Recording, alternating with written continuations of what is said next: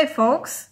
I'm taking over right where last video stopped. In the previous video I was preparing for my first art market, if you remember. If you don't, go and watch it. And I'm about to go and print the prints that I'm going to hopefully be selling on the art market. I'm still really nervous about this. I feel like all my decisions are wrong. I'm questioning my whole life right now. You know how it is. Or maybe you don't. You're lucky if you don't. But anyway, let's just go and make some prints, shall we?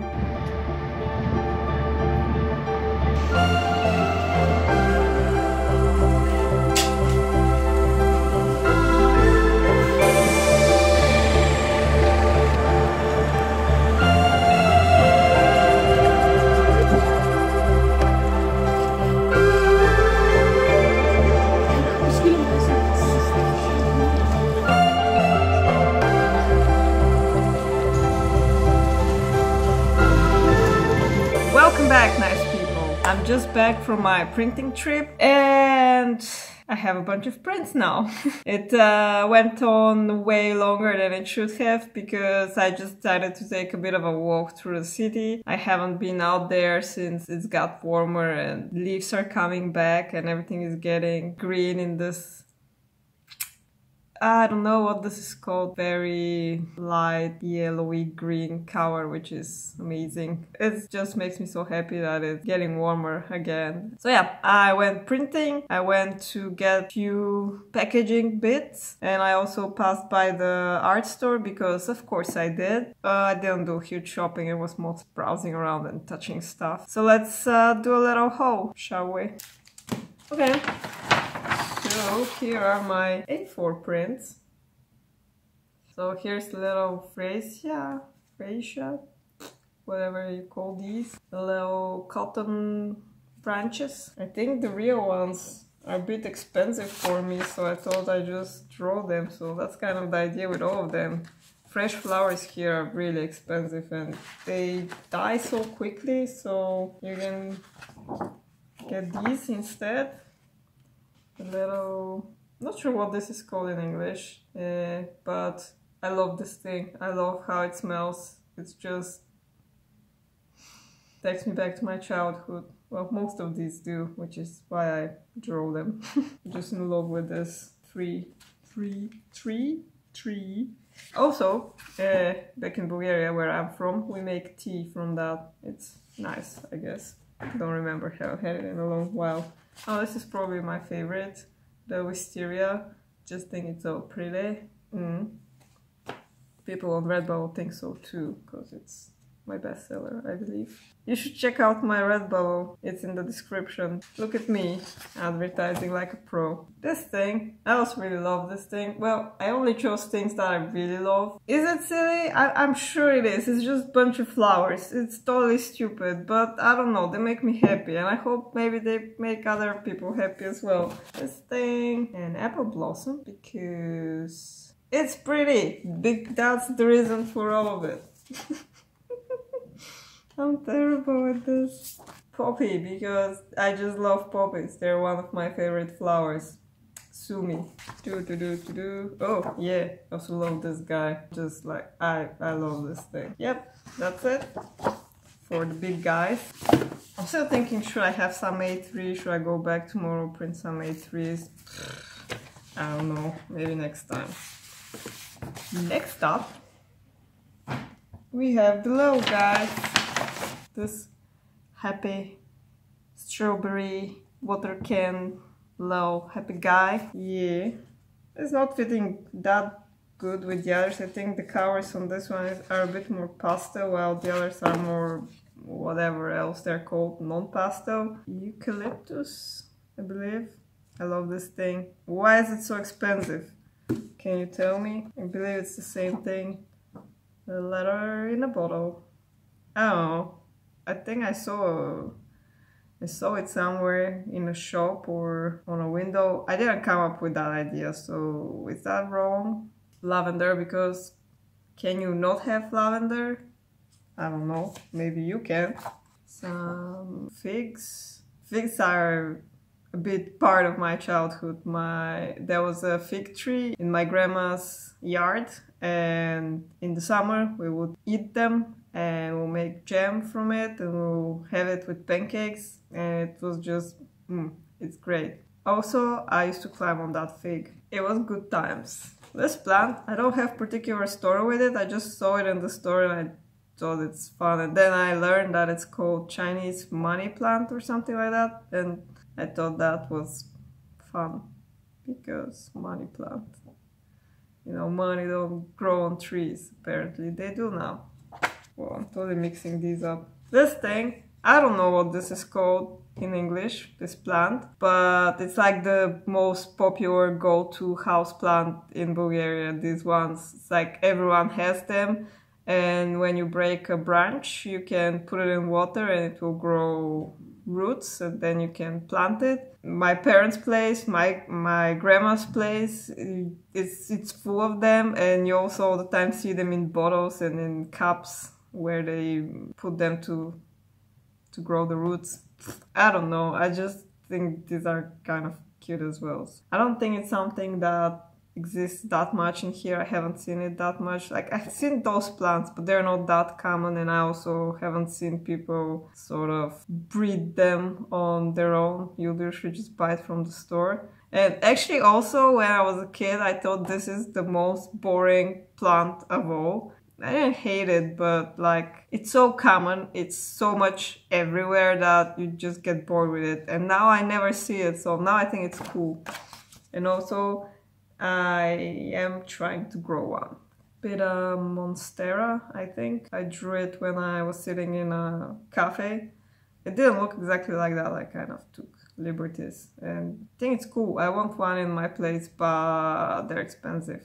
So I have this one. Da, da, da, yeah, I think they're starting to repeat now. Oh, I actually have a lot of those small ones. What have I done? And that's it for the prints. Tasty. And then I bought some of these. Let's let's unpack it to see if it's what I actually want it to be. Because I don't want to just hand it to people and look trashy. Um, I'm not prepared to really package things really nicely. This is kind of an improvised market, so it's not going to be my best, but still I'm going to put them in these little baggies and I'm going to add a like a business card, maybe tape them with something nice like washi tape or something so just clear bag. Please don't tell me of how much i'm killing the environment. I'm already beating myself over it so there's that so they're going to get inside like this. Uh, like this. So they look a little more nice when people buy them. I think it's cute. Whatever. Okay. And we have the same baggage in A4 for the A4s. Boom. I also got these tiny little labels and I'm going to use them for price tags. Maybe I'll also write thank you on them. We'll see. Yeah, I think that's it. Oh yeah, my little steal from the art store. I didn't really steal them, I paid for them with my hard-earned money is this guys. So I've wanted to try water-based markers for a while to shade my sketches in my sketchbook so they look kind of a bit more nice and put together without me wasting some fancy Copics on them. Also, if my theory is correct, this shouldn't bleed. So let's go ahead and try them. Oh, how about this one? I had a lot of colors, but most of them were really dark and like I don't know. The only ones I liked were these two. And this is like very light gray with a hint of blue violetish. And this is like pale pink. Do they have names? Oh, in case you're interested, by the way, it's called Grapho Twin Tip Water-Based Marker. That's all it says. So let's see. The, the nib is really stiff, so that's kind of weird. Nope, no bleeding. That's great. Yeah, I think it's going to, to do what I want it to do. This one, yeah, gray, gray, violety. I don't know. I think it's great for shading sketches. I'm gonna play with it in a bit when I stop talking to you. So, oh yeah, they also have this other tip which is like a fine liner something. This is like really fine and because it's so pale it's meh, it's kind of cool. I like it. Also, actually, they should be water soluble. So now you're gonna make me get the watercolor sketchbook, won't you? That's an ugly page. Let's ruin it more.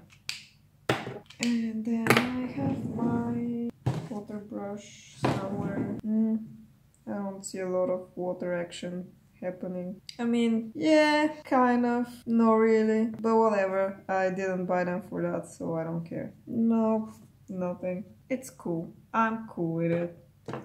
So, yeah, I think that's what I wanted to show you for right now. I also need to post the video that you maybe or maybe not saw last week. But if you didn't, you can always see it like right now. In fact, you should. Well, okay, I think it's time to, you know, go our separate ways for the time being. But this is not the end of the video, so keep watching. Hey folks, I'm talking to you from the bedroom because the washing machine is going crazy in the other room. I didn't think about that earlier. But anyway, it's Friday and today I was planning to set up some of the prints in frames and make some ni nice arrangements and take some photos for social media. But then I realized that one of the poster designs that I really enjoyed and wanted printed. I totally forgot about it. I didn't export the file and it wasn't in my folder, so it didn't get printed, of course. And now I'm thinking I should go back, but the place I went printing before is really far away and I have to work from 1.30 today. So I've been googling places semi-close to my work that I can go and print it and accidentally found this place that actually does fine art printing which I definitely think is not what I did. I think I made a more regular printing. So I now really want to go and try it, but I also don't have much time. So I don't know if I manage to pack up things until 11:30. I think I'm gonna run and try and do that. I also realized that these fine art prints are probably really expensive. Also, I'm not sure they would be okay with making them in a smaller, smaller size. But it doesn't hurt to go and talk to them because if not now, I would for sure want to do something with them in the future. I've been looking for a place like that for so long and now I just stumbled upon it just randomly Googling places on the map, actually. I really want to go and talk to them. Let's see if I can manage to do it in time because uh, it's a bit crazy at work these days because uh, there is a huge event, so it's very busy at the cafe. But yeah, let's hope I can make it all on time. I also wanted to train in uh, setting up my table, but I also can do that tomorrow or tonight. It's it's not so important. Let's see. Um, yeah, I also another thing I also realized that the print that I forgot to print actually wasn't entirely finished or it was because I have memory of totally finishing it, but maybe I forgot to save it or some something went messed up in that because yeah, it needs it needs a little bit of touching. So yeah, okay. It's a huge mess in the other room, so let's pretend we don't care about it. Yeah, let's let's do this.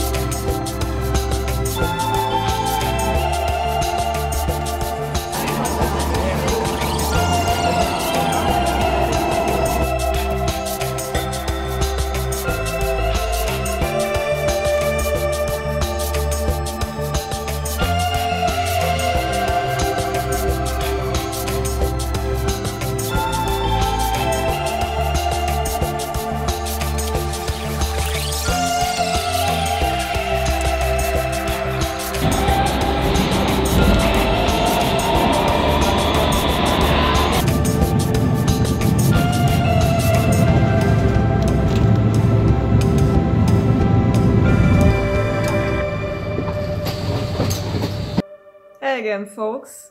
I was sitting and editing this video and I realized that I actually never told you how the market itself went.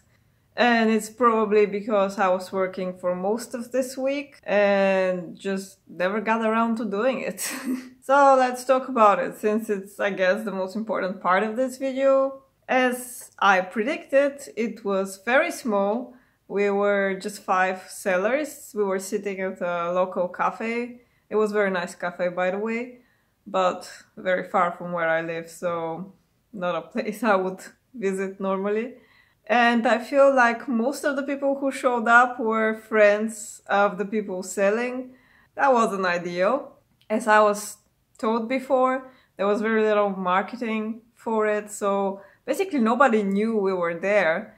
And very few people passed by very casually, so there wasn't that much selling going on. I did make a sale, one A4 print, so I'm a bit proud it, it was it was nice.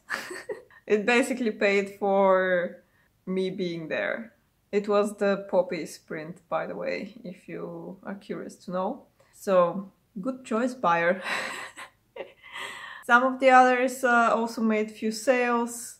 But what was really nice was all of the people, was all of the other women selling. It was actually very fun time. It was very nice just sitting around chatting and having coffee and the time passed really quickly actually. So I enjoyed being there and it was nice. I wish more people came by because I really hoped to get to talk to, I don't know, potential customers. Even if they don't buy, I wish there were more people who just passed by, had a little bit of conversation, just looked around. But next time.